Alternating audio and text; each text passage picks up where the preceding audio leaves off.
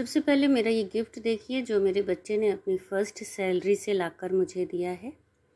वैसे तो मेरे पास ये सारे टूल्स थे, ये बड़ा वाला चाकू नहीं था, लेकिन अब सेट ऑफ़ टू हो गए हैं तो अच्छी बात है। अक्सर हम लोग गार्डनिंग में कहीं भी टूल्स को रख देते हैं और भूल जाते हैं, फिर वो हमें मिलता नहीं है। अब दो का सेट है तो कभी गुम हो गया तो कोई टेंशन नहीं। अब कटिंग करने के लिए एक ही बार में ये जो है कटर उठाए उठा कर के और सारे गार्डन की कटिंग इस एक ही बार में कंप्लीट हो जाएगी। आपको भी ऐसे गिफ्ट मिलते हैं तो मुझे कमेंट करके ज़रूर बताएँ। किचन वेस्ट से कंपोस्टिंग करके हमने अपने घर का गीला कचरा तो यूज़ कर लिया। लेकिन गीला कचरा यूज़ करने के बाद भी हमारे घर से जो एक और कचरा निकलता है, सूखा कचरा, यानी कि ये प्लास्टिक, सबसे ज़्यादा यूज़ करते हैं हम ये दूध की थैलियाँ और ये जो और भी अलग अलग पाउचेस जो प्लास्टिक के आते हैं, इसको भी हम अपने गार्डन में यूज़ करके अपने इन्वायरमेंट को बचाने का एक छोटा सा योगदान दे सकते हैं। हेलो फ्रेंड्स मैं हूँ भावना और आप देख रहे हैं भावनास क्रिएटिव स्पेस इस तरीके के दूध की थैलियाँ हमारे गार्डन में किस किस तरीके से हम उसको यूज़ कर सकते हैं, आज के वीडियो में मैं यही बताने वाली हूँ। सबसे पहले तो अपने थैलियों में नीचे छेद कर लिए हमने और हमारे गमलों में अक्सर एक साथ कई कई पौधे एक गमले में निकल आते हैं, जो कि बहुत ही अच्छे और काम के पौधे होते हैं, लेकिन एक्स्ट्रा होते हैं। इतने ज़्यादा कि एक गमले में हम उनको नहीं रख सकते। हमें उन्हें निकालना ही पड़ता है और ऐसे एक्स्ट्रा फालतू पौधे जो हमारे गमलों में निकले हुए होते हैं या मेरी ये तुलसी। मैंने बहुत सारी तुलसी ग्रो करी क्योंकि मुझे तुलसी सबको देनी होती है गिफ्ट में देनी होती है। लोग मेरे से अक्सर तुलसी लेते हैं, जिसकी भी तुलसी ख़राब हो जाती है। तो ऐसे एक गिफ्ट पैकेट्स बनाने के लिए और अपने गार्डन के सारे एक्स्ट्रा प्लांट्स को निकाल करके हम अपने इस दूध की थैली में लगा सकते हैं।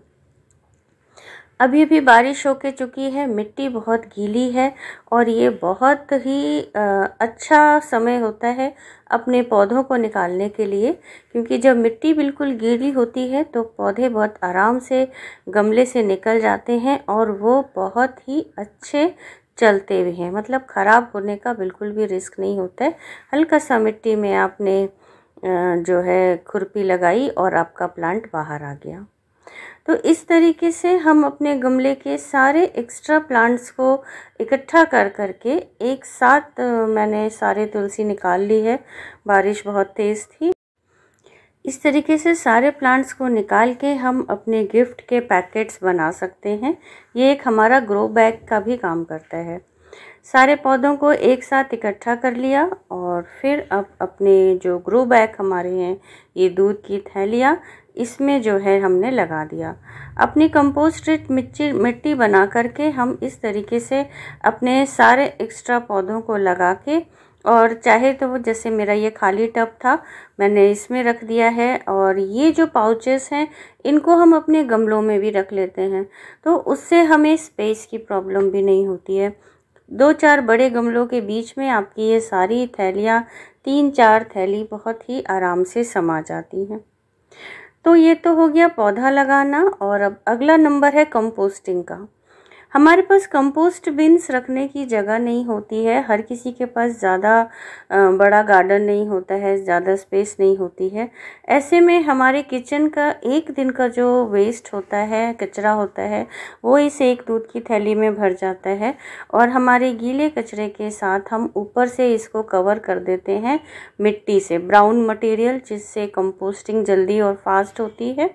आपके पास मिट्टी नहीं है, आप कोकोपिट भर लीजिए या कोई भी सूखे पत्ते डाल लीजिए या फिर इसमें उसका लकड़ी का बुरादा डाल लीजिए।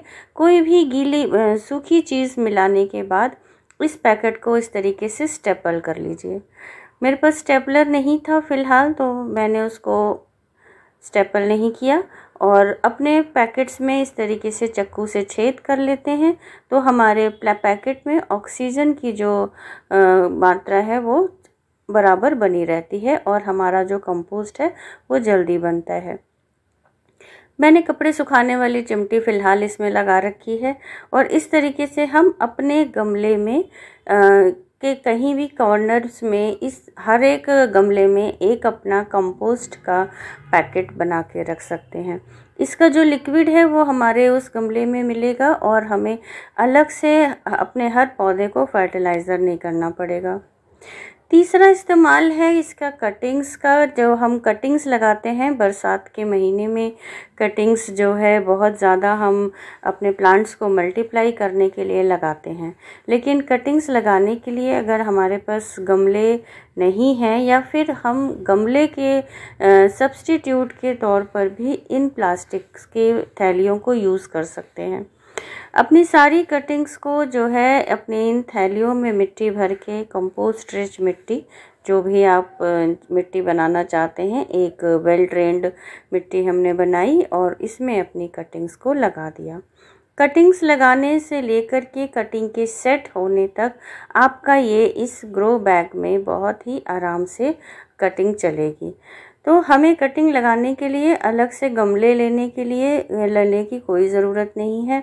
जब हमारी ये कटिंग सेट हो जाती है तो इस प्लास्टिक को हम आराम से फाड़ करके अपने गमले में, अपने इस पौधे को ट्रांसफ़र ट्रांसफ़र भी कर सकते हैं।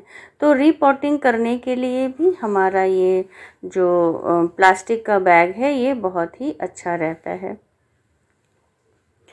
बारिश हुई थी और बारिश का यहाँ पे पानी इकट्ठा हो रखा था तो मैंने इस, यही पानी अपने इस गमले में कटिंग लगा के डाल दिया। बारिश के पानी का भी रीयूज़